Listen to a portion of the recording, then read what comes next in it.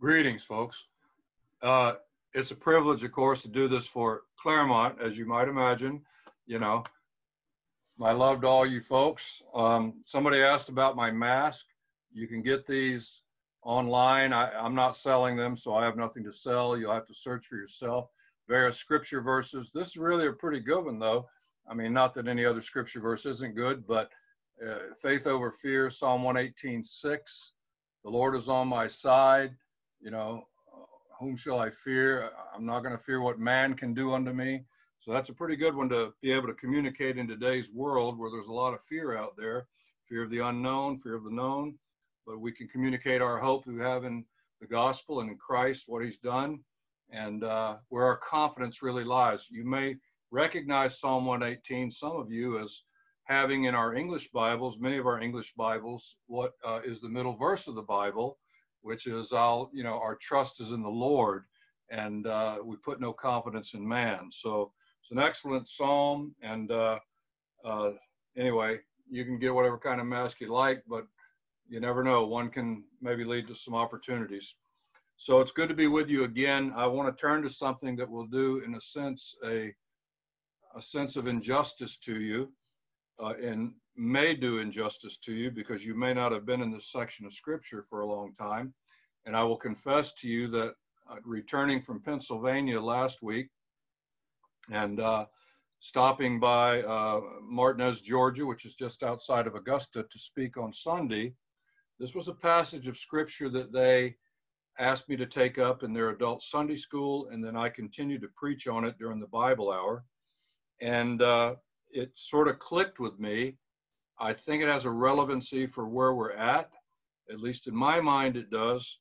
And uh, we'll see how the Lord works. But uh, it's a it's an exceptional message, really, and I think you'll understand when we look at it. So what I'd like you to do is, if you have your Bible and you're following along, long, turn to the book of Esther, in chapter six. Esther chapter six. It's only 14 verses, so I'm going to take the liberty to go ahead and read them because it's always good to hear the Word of God. And if you can follow along visually, it's good to take it in through the eye gate as well as the ear gate. So I'm going to read from Esther chapter 6 and verse 1. On that night could not the king sleep, and he commanded to bring the book of the records of the chronicles, and they were read before the king. And it was found written that Mordecai had told of Bigthana and Teresh, two of the king's chamberlains, the keepers of the door, who sought to lay hold on King Ahasuerus. And the king said, What honor and dignity hath been done to Mordecai for this? Then said the king's servants that ministered unto him, There's nothing done for him. And the king said, Well, who is in the court? Now Haman was come into the outward court of the king's house to speak unto the king, to hang Mordecai on the gallows that he had prepared for him. And the king's servant said unto him, Behold, Haman standeth in the court. And the king said, Let him come in. So Haman came in. And the king said unto him, What shall be done unto the man whom the king delighteth to honor? Now Haman thought in his heart, to whom would the king delight to do honor more than to myself? And Haman answered the king, Well, for the man whom the king delighteth to honor, let the royal apparel be brought, which the king useth to wear, and the horse that the king rideth upon, and the crown royal which is set upon his head. And let this apparel and horse be delivered to the hand of one of the king's most noble princes, that they may array the man withal whom the king delighteth to honor, and bring him on horseback through the street of the city, and proclaim before him, Thus shall it be done to the man whom the king delighteth to honor. Then the king said to Haman, Make haste, and take apparel in the horse, as thou hast said, and do even so to Mordecai the Jew, that sitteth at the king's gate let nothing fail of all that thou hast spoken. Then took Haman the apparel and the horse, and arrayed Mordecai, and brought him on horseback through the street of the city, and proclaimed before him, Thus shall it be done unto the man whom the king delighteth to honor. Mordecai came again to the king's gate, but Haman hasted to his house mourning, and having his head covered. And Haman told Zeresh his wife and all his friends everything that had befallen him. Then said his wise men and Zeresh his wife unto him, If Mordecai be of the seed of the Jews, before whom thou hast begun to fall, thou shalt not prevail against him, but shalt surely fall before him. And while they were yet talking with him, came the king's chamberlains and hasted to bring Haman unto the banquet that Esther had prepared. it's a fascinating story, isn't it? And if you know the story, I trust you do, but it's a really, uh, uh, we're kind of, breaking in at the climax uh, to the story where the situation is going to change a little bit. But uh, I want to just refresh your mind by remembering of what's going on at this particular time. So there are seven books that are linked in the Bible by time chronology, the time frame in which they fit. They basically have to do with the time of exile of the people of God who were carried away into captivity because of their disobedience to God and their sinfulness and God's judgment upon them, which had been forewarned. And uh, some of them have to deal with the post captivity period. But there are seven books that you can remember that are linked together. And the reason why I'm saying that is we uh, have to realize that in our Bibles, the book of Esther is the last of the historical books in our Bible before we get to the books of poetry, Job, Psalms, and so on. But thinking about that time frame, there are three books that are historical and give us the history of that period. And those are the books of Ezra, Nehemiah, and Esther. Then there are three prophetic books or three prophets that are linked to that period Haggai, Zechariah, and Malachi.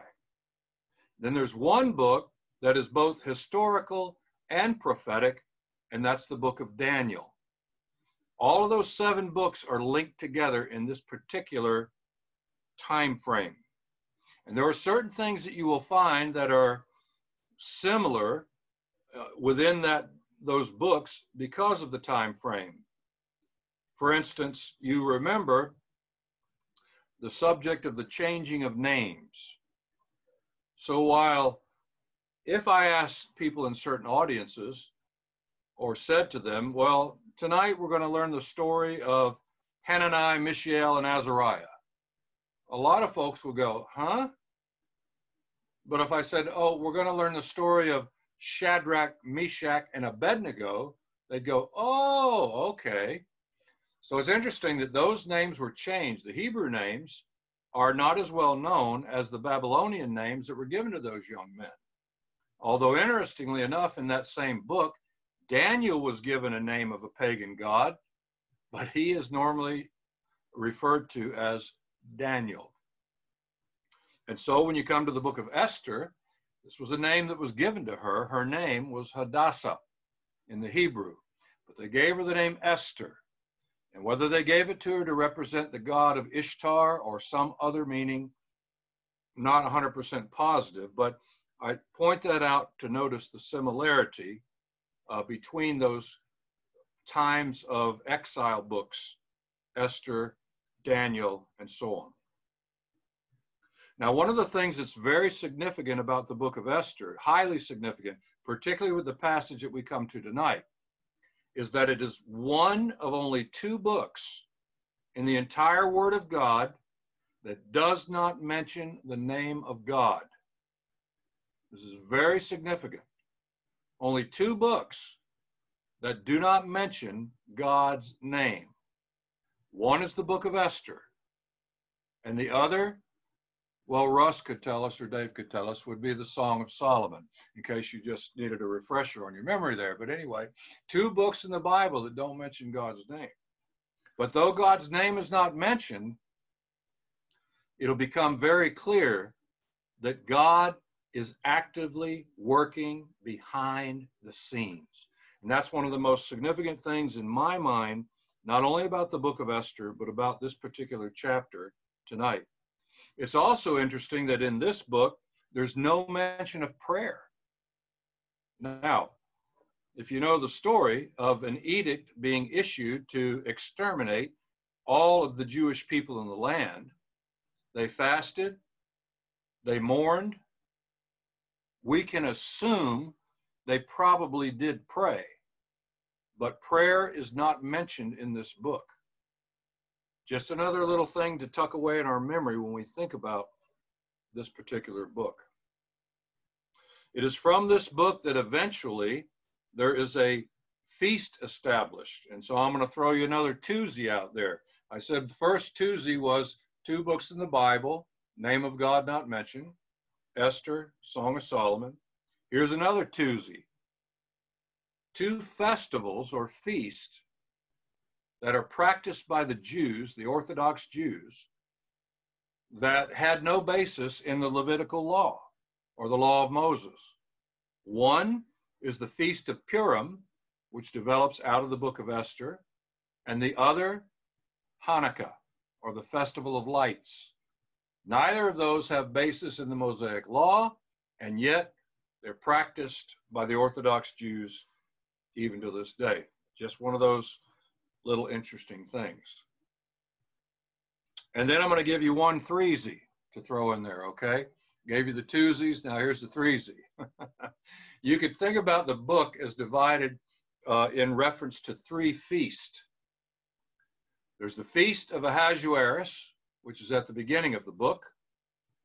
Then there's the feast that Esther plans and in, initiates. And then eventually the Feast of Purim, which is established towards the end of the book. So the whole book revolves around those three feasts. And you remember perhaps the plot that the queen of Vashti in the early chapters had been dethroned because of a refusal to appear before the king and his cohorts. Uh, these people threw feast. Now, when I say they threw feast, I mean you have at Claremont wonderful.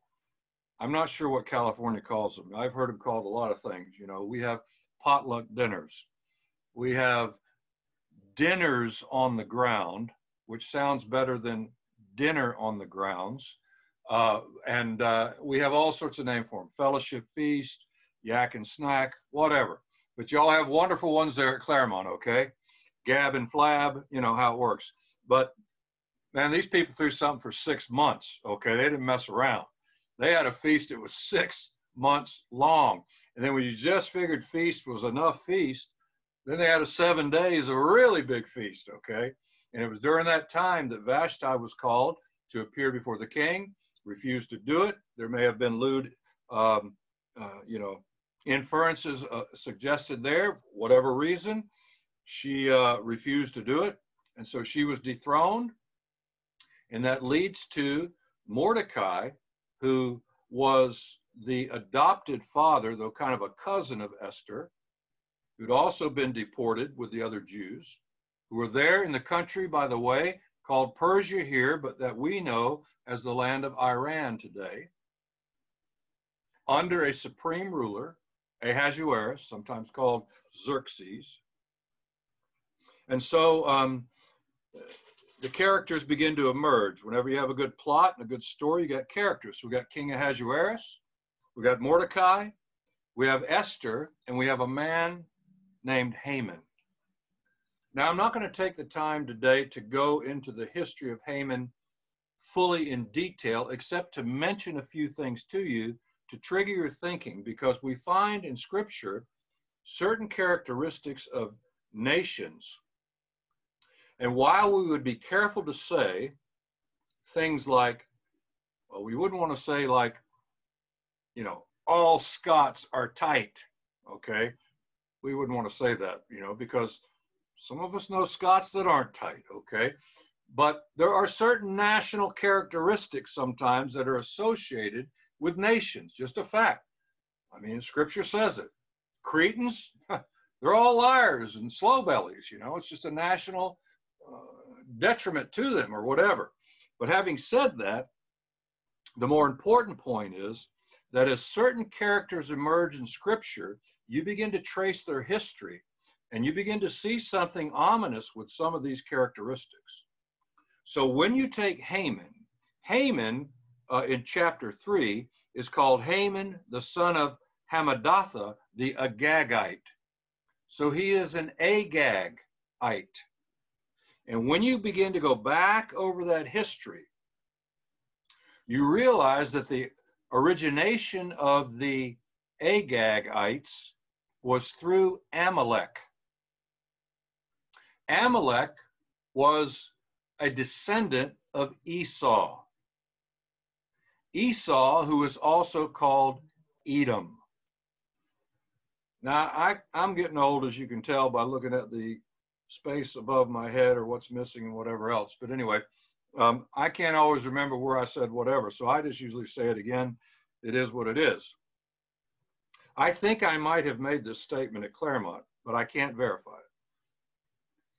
But the statement is this When you take Esau in Scripture, it is undeniable, according to the scriptural evidence, that Esau was the first redneck. Okay, um, his his nickname was Red. That's what Edom means. He was a hairy-chested man, chest full of red hair. He hunted with a bow and arrow. He killed deer. He ate chili, beans with red stuff. Okay, so Esau undoubtedly is the first redneck in Scripture. Now, having said that, one of the things that differentiates Esau between, between Jacob is their appetites. Esau only was concerned with immediate gratification. Give me that red stuff. I'm about to die, which wasn't true. He wasn't about to die.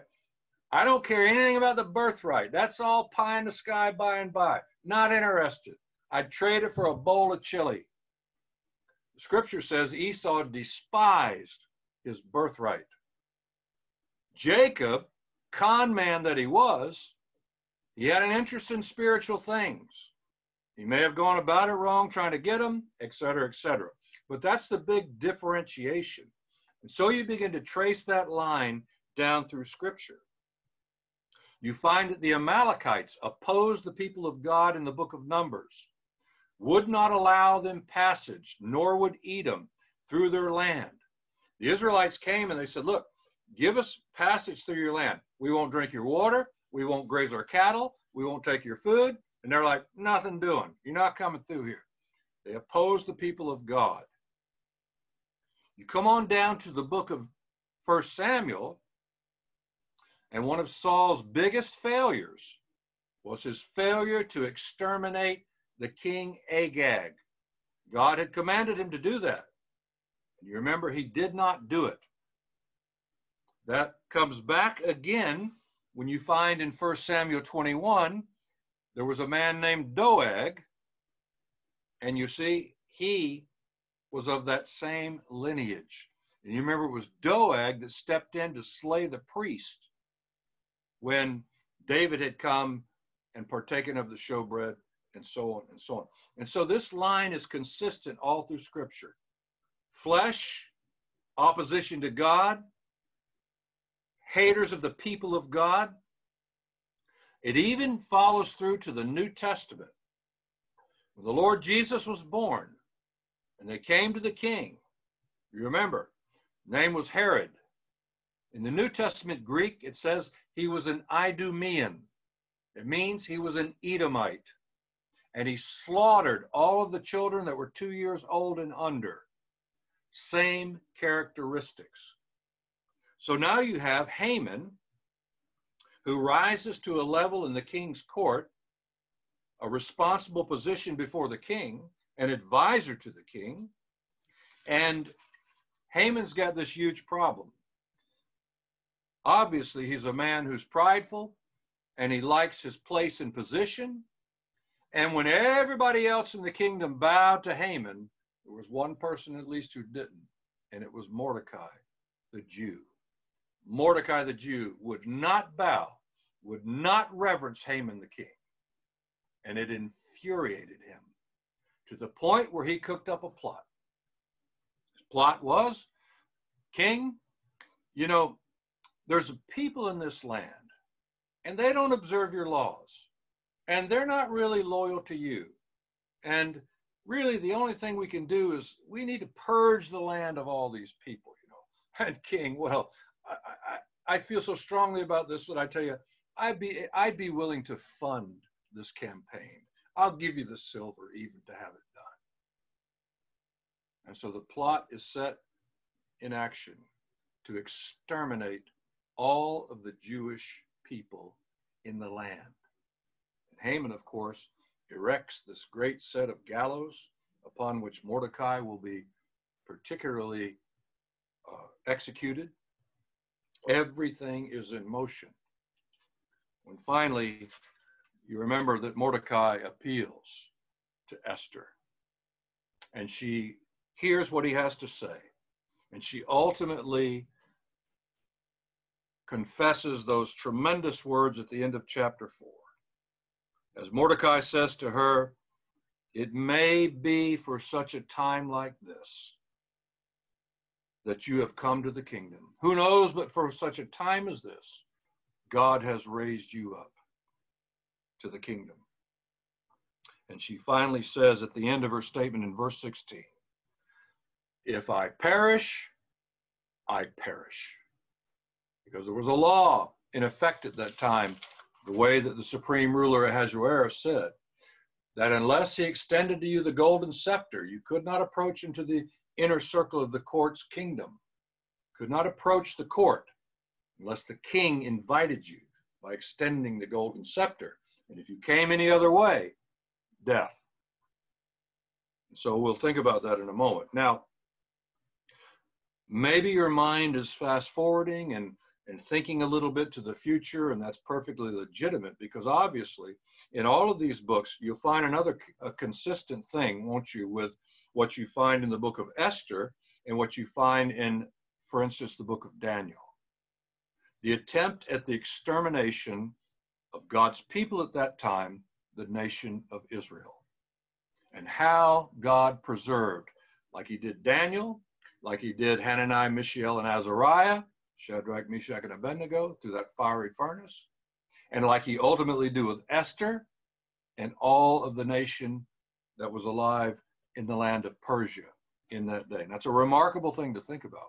There's coming a time that the Bible tells us about in the book of Revelation that is also referred to in other places such as Jeremiah and elsewhere as the time of Jacob's trouble. And while it'll have an effect worldwide, and while there will be non Jewish people affected by it, it has been particularly designed as the time of Jacob's trouble.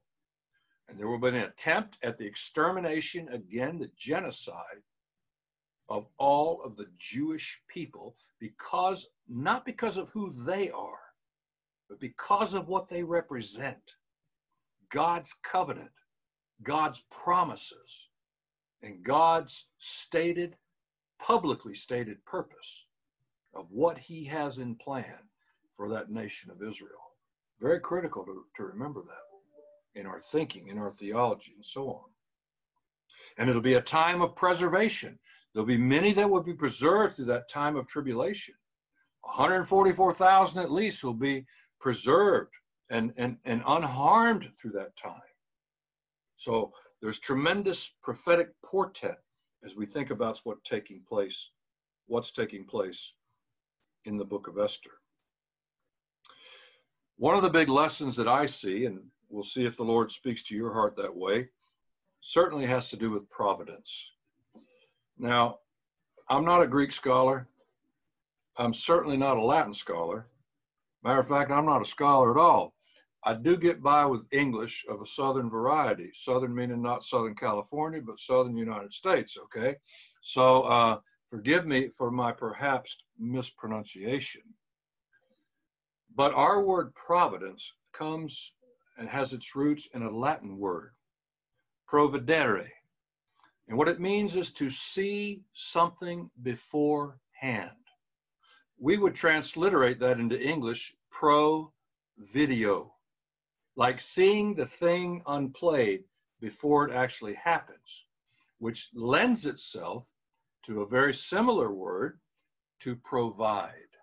So in providence, God sees beforehand, obviously, what is going to unfold and is able to, provi- to provide for that contingency or situation or whatever it may be.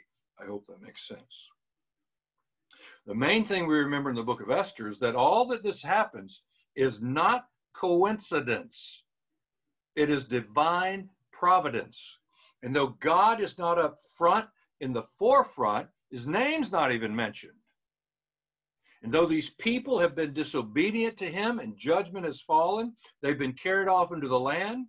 Uh, part of the exile has already taken place, or the return has already taken place. When you add up all of the phases of the different returns, you only get 50 something thousand people that ever went back to rebuild the wall and the temple and the land. Some of them rather stay in, in Iran, more comfortable there. Had it pretty good for some of them, you see whatever reason, even though this people had not joined those who returned, God was providentially watching over, caring for his people. I'll tell you, it didn't seem like it at the time. I mean, they were up against it. This edict had gone forth. It was, the things were put into motion, and it looked like they were going to be wiped out but God working providentially behind the scenes. Something had taken place prior to all of this. It's actually found in chapter 2. And, and I'll turn there to read it for you. What it was was a plot. It says in chapter 2, verse 21 In those days, while Mordecai sat in the king's gate, two of the king's chamberlains, Bigthan and Teresh, of whose of those who kept the door. So now these were people who kept the king's chamberlain and door. Imagine this you're the king. You got to have somebody guarding you while you sleep. This is like your secret service. This is your inner circle. These are your most trusted, you know, protectors. And they were wroth and they were they, they set up an assassination plot to kill the king. And just so happened that of all the people to hear about the assassination plot was Mordecai, who told Esther the queen, she told the king in Mordecai's name. And when they made inquiry, inquisition, the matter was found out. They were both hanged on a tree. And it, it just so happened, it was such an important event, they said, we should record this in the book of the Chronicles of the King. And they did. Fast forward now, chapter 6. It just so happened that on a certain night, the king, he couldn't sleep. He had a case of insomnia. Now, you're the king of 127 provinces, you know. You got all kind of sleep aid means if you need them, you see, to help you get to sleep that night. But the king did what other people have done when they've had insomnia he called for the books, the book of the records of the Chronicles of the Kings. Now, I don't know what form those books were in, whether they were in, you know, clay tablets, whatever they were. I was reminded, though, of something that that uh, took place in the days of the Lord Jesus. It's actually found in Luke chapter four. It's what I call the Lord's first sermon in his hometown. So he goes back to Nazareth. He goes to the synagogue on the Sabbath day, as custom was in that day in the synagogue. He goes into the synagogue and he could read, and the minister of the synagogue hands him the scrolls to read. And he opens up to the book of Isaiah, chapter 61. Spirit of the Lord is upon me. He's anointed me to preach the gospel to the poor, give sight to the blind, etc., etc. You know the story. And then to proclaim the acceptable year of the Lord. And he sat down all eyes were upon him. Now it's interesting because remember that in that day they did not have a book like we have, no chapters and verses.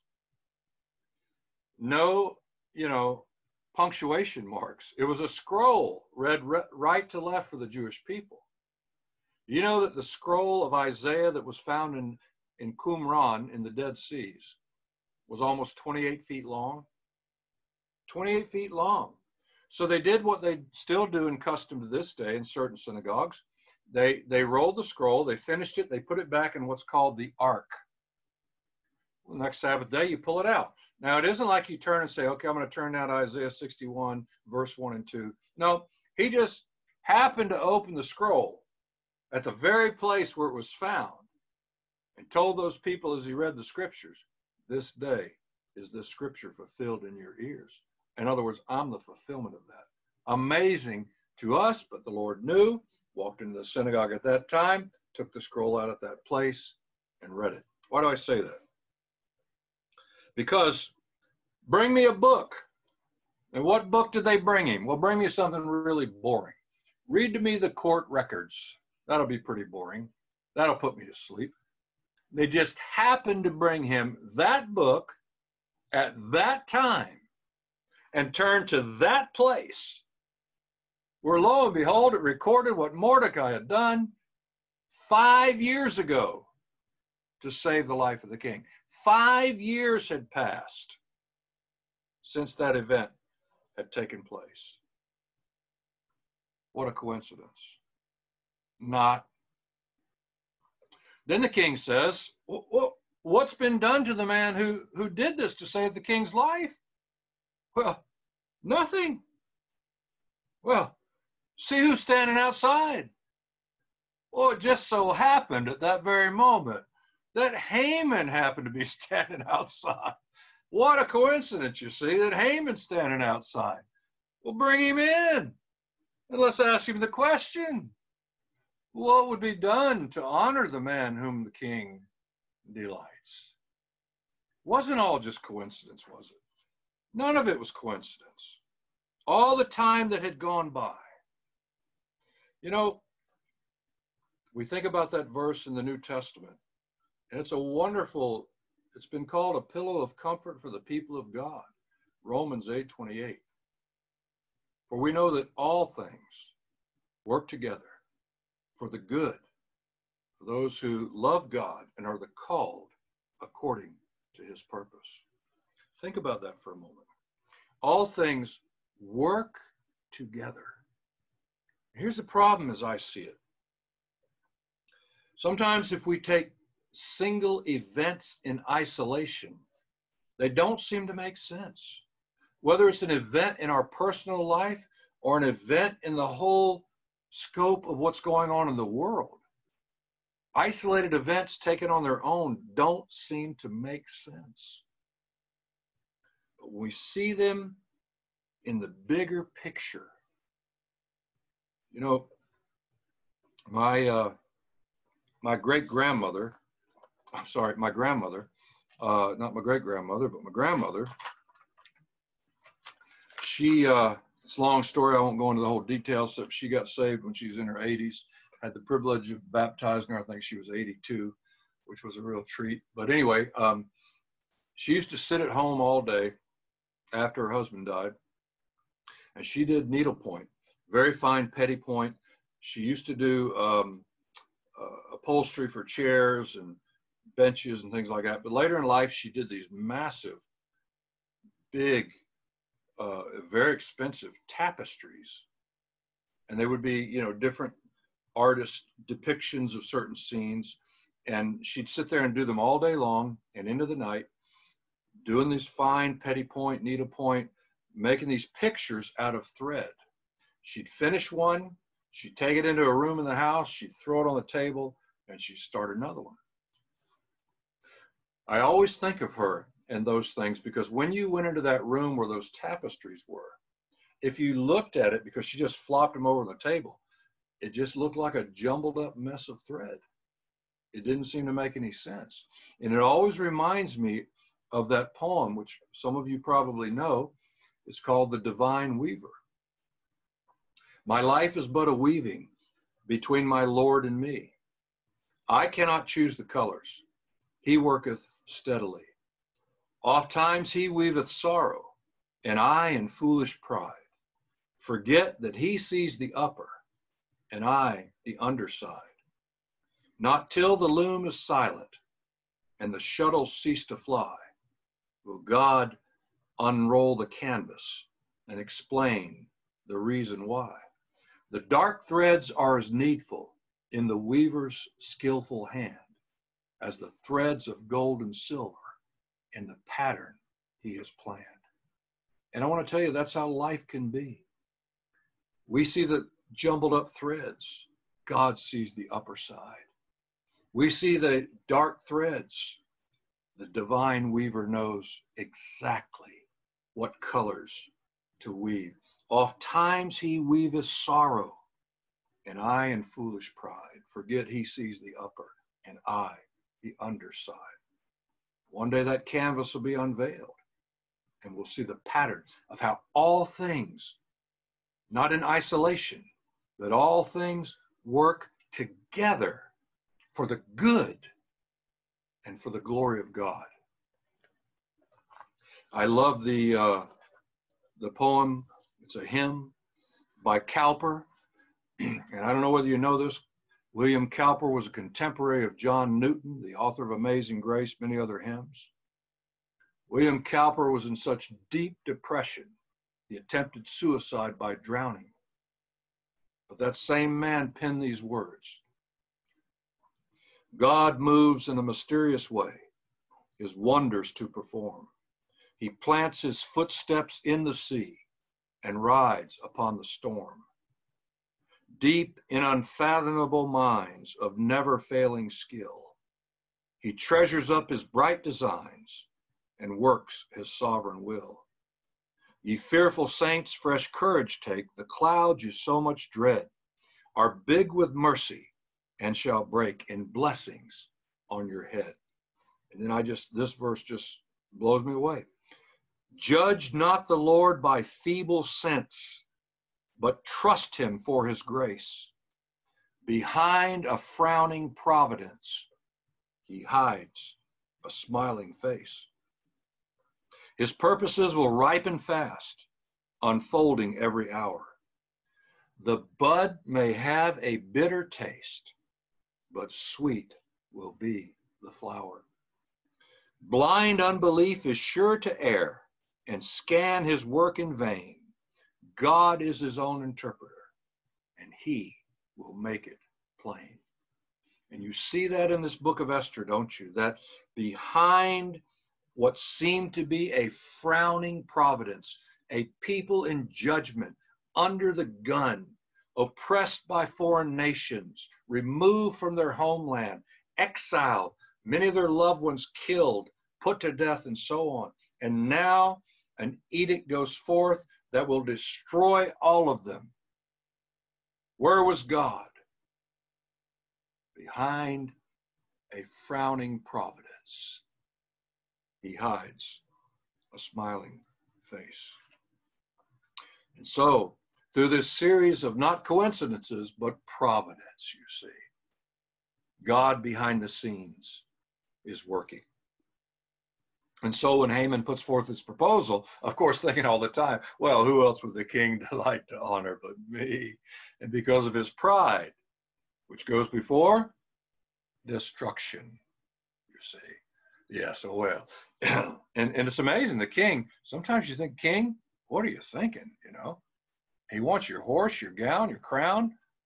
Sounds like he wants to be king, and you're going to go for it? But that's the way it worked. And yet, would love to see the look on Haman's face when the king said, Capital idea. Go and do that for Mordecai. and parade him through the street, you see, the one that Haman hated more than anybody else. And, and say, This is what will be done to the one in whom the king delights to honor. Wonderful to think about, isn't it? Five years go by. Mordecai's deed unknown, apparently, unrewarded for five years. And yet that reward came, didn't it? In the right time. A verse of the New Testament I love. It's found in Colossians 3:24, and it says, "You will receive the reward of the inheritance, for you serve the Lord Christ." I'll tell you, for you and I who are believers, it may be five years, it may be more that goes by. The world may never recognize, and obviously, we don't care if it does. But God has it recorded in His books. And at the right time, He's going to record accordingly. He'll reward. He takes note of all that is done. Which reminds me again of recorded events. There was a book of the kings of the Chronicles, and everything that people had done, good or bad, had been recorded in those books. That's interesting, isn't it? I want to tell you in life, nobody gets away with anything. When I turn to the book of the Revelation in chapter 20, I read these. When I say awesome, I don't mean awe inspiring, I mean almost terrible in the Old English sense of the word. It's found in Revelation 20 12. I saw the dead, small and great, stand before God and the books were opened, and another book was opened, which is the book of life. And the dead were judged out of those things which were written in the books according to their works. Everything had been recorded. I won't take the time to go into it now, but if you'd like the references for later, Matthew 11, 20 through 24, and Luke 12, 44 through 48, that speak about the varying degrees of punishment You'll notice that in Matthew 20, 12, that they are judged out of those things which were written in the books according to their works. But there's two sets of books, if you will. One that records everything that you'd ever done. But follow me carefully. It's a very important, critical distinction and another evidence of the very accuracy of the Word of God of Scripture. And it's verse 15. Whosoever was not found written in the book of life was cast into the lake of fire. Those that are cast into the lake of fire are not cast into there because of their works, good or bad. They don't stand before God to see whether or not they're going to be cast into the lake of fire. The books that have their works written in them are to determine the degree of punishment that they, they will in, in, in, will endure. But what determines whether or not they're cast into the lake of fire is the other book. And an awful blank that seems to be there as we read this passage, because their name is not found written in the book of life, cast into the lake of fire. Is your name written there on the page white and fair? You'll not enter heaven because of what good works you've done. You'll not be barred from heaven from what bad works you've done. You'll be cast into a lake of fire if your name is not found written in the book of life. And the only way your name can be there is for you to come to that place where you realize that you have sinned and you need a Savior and God has provided that Savior in the Lord Jesus. And unless you trust the Lord Jesus as Savior, you die and go out of this world unsaved, you're going to stand one day there and you're going to have to have that awful pronouncement that your name is not found written in the book of life. And you'll be cast forever into the lake of fire. Today is the day of salvation. Now is the acceptable time. If you're not saved, right now, you can come to the Lord Jesus. You can believe on the Lord Jesus Christ. And the scripture says, Whosoever shall call upon the name of the Lord shall be saved. If you confess with your mouth the Lord Jesus, believe in your heart that God has raised him from the dead, you can be saved. If you're not saved and you're listening today, now's the time. Don't wait. Don't put it off. Everything's been recorded. Oh, how wonderful to know that your name is recorded in the Lamb's book of life. It leads me to one other thing as we kind of prepare to wind down. It's found in Hebrews chapter 10. I couldn't help get away from I couldn't get away from thinking about the um, the recording in the books. And in Hebrews chapter 10, I want to say here, and this is very important, don't take my word for it. And I'll, I'll show you what I mean in Hebrews 10 15. Wherefore the Holy Ghost also is a witness to us. So don't take my word for it because the Holy Spirit's going to now step up and testify. And what is the testimony and witness of the Holy Spirit? Well, here's what he says. For after that he had said before, This is a covenant I'll make with them after those days, saith the Lord. I'll put my laws in their hearts, and their minds will I write them. And their sins and their iniquities will I remember no more. Now, where there's that kind of a sacrifice, you don't need any more offering for sin. If you find something that'll do that, your sins and iniquities, I'll remember no more. Why do I bring this up here?